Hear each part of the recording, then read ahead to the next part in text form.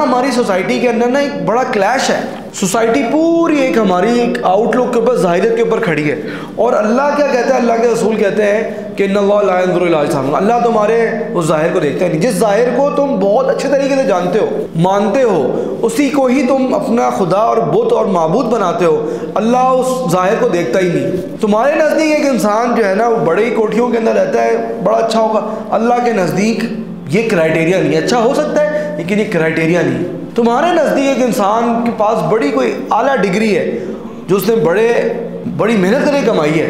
आपको लगता है कि वो बड़ी आला चीज़ है, लेकिन अल्लाह के नज़दीक हो सकता है वो सही हो। अल्लाह ने ये उसूल नहीं रखा हो। अल्लाह का उसूल जो है ना, वो कुछ और है। अल्लाह के रसूल क्या कहते हैं? ना तुम्हारा जिसम देखता है, ना तुम्हारे चेहरे देखता है। बोला कि व आमालिकुम तुम्हारे अल्लाह दिल देखता है और तुम्हारे अमल देखता है कि तुम्हारा दिल कितना अच्छा है। ये दिल है जो असल में अल्लाह को चाहिए। सोचे, इंसान इंसानों को देख रहे हैं और अल्लाह इंसानों के दिलों को देख रहे हैं। ये कुरान जो है ना, वजीलत खलूब होम ये दिलों को लर्जाता था। ये दिलों तक पहुँचता था। आज हम नहीं पहुँच आज इस कुरान को हम दिलों तक नहीं पहुँचा सकते। इतने बैरियर्स हैं, इतने।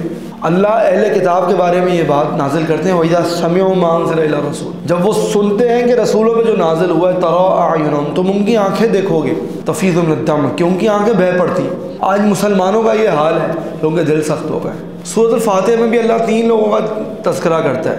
एक है अनमता अलैम तो अनमता अलैम वाले जो लोग हैं, जिनके ऊपर अल्लाह ताला ने इनाम किया, जो ब्लेस्ड है, ये अपने दिल की वजह से ब्लेस्ड है। जब ये इबिन मसूद कहते हैं ना कि इन नज़र इलाकलूब इबादी, अल्लाह ताला ने अपने बंदों के दिलों पे नज़र दौड़ाई फवजदा कल्ब मोहम्मद तो अल्लाह के रसूल का जो दिल था सबसे बेस्ट पाया।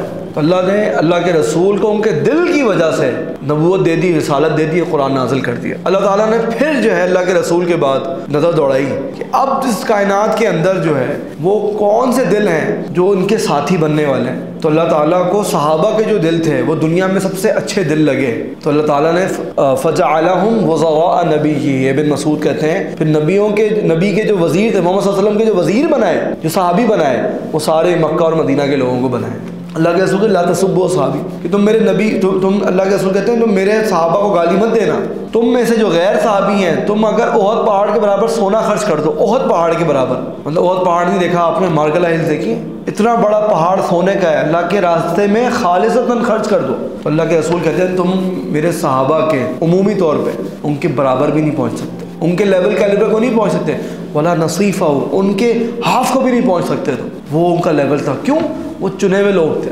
चुनता है ना तो अल्लाह राहों से निकाल देता है। चुनता है तो कोई ऐसी निशानी भेज देता है कि इंसान जो है ना गुनाह नहीं कर पाता। चुनता है तो नेट बंद हो जाता है। चुनता है तो कोई आ जाता है। चुनता है तो इंसान कितनी भी कोशिश कर ले गुमराह होने की, अल्लाह उसे गुमराह नहीं होने देता। अल्लाह कोई बला छोड़ देता है उसके ऊपर जो उसको इंसान का बच्चा बना देती ये चुनिंदा लोगों के साथ होता है, जिनको अल्लाह चुनता नहीं है। और वो क्यों नहीं चुनता? उनकी दिल की सख्तियों की वजह से अल्लाह नहीं चुनता।